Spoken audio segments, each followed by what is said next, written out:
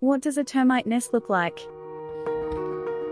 A termite nest doesn't necessarily look like what you might imagine it would. You might imagine the classic termite mounds seen in the bush. Or perhaps a termite nest in a tree.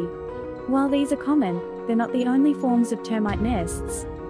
Also, just because you don't see a termite nest near your home, that doesn't mean there aren't termites. Termites can live underground and travel for hundreds of meters. Here's a picture of a termite mound Richard captured recently. It's sitting prominently on top of a fence. And here is another sitting on a retaining wall. These are fairly easy to spot, even for the untrained eye. But would you guess behind these spots is a termite nest? A previous inspector had seen these and thought they were just specks on a ceiling. When Richard investigated, he found this. That is a big termite nest inside the home. And that is not uncommon. Here is another he found inside a wall. And another. And yet another.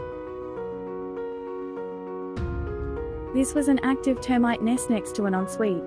Termites love moisture. Make sure your bathrooms are well sealed.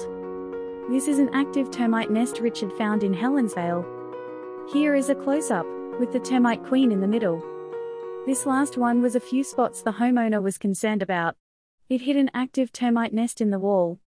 Termite nests come in many shapes and sizes, and we've seen many clients who were living with a nest in their home without realizing it. For a thorough termite inspection, call Richard at Gold Coast Pest Inspector,